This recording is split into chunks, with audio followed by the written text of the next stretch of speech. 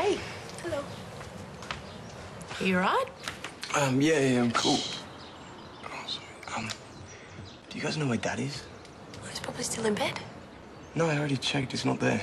Well, I've been up with Archie for an hour and a half, so wherever he went, he went early.